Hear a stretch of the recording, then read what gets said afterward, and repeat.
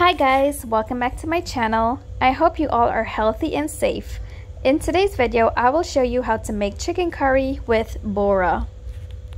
Bora is also known as long green beans. So to get started, I'm adding some vegetables to my very hot oil here, such as onion, garlic, ginger, and shallot. Season this with a bit of salt and let it cook for about 3 minutes.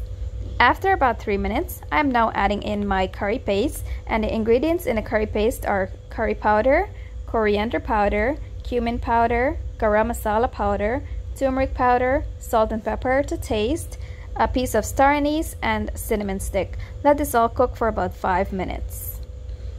After about 5 minutes or until the curry paste separates from the oil like this, I had rinsed out the container my curry paste was in and I'm going to let this cook for an additional 2 minutes.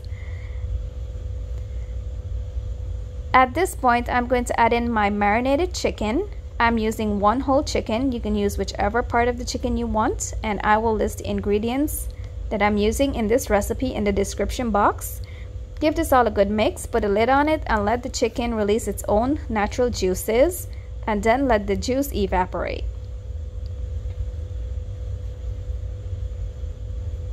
Once the juice has evaporated from the chicken, I have added in my coconut milk, bora, and the potato.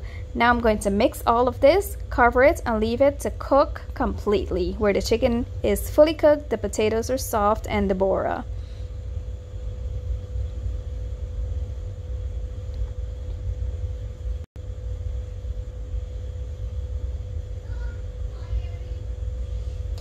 At this point, the food is completely finished, so I'm going to turn my stove off and serve this up.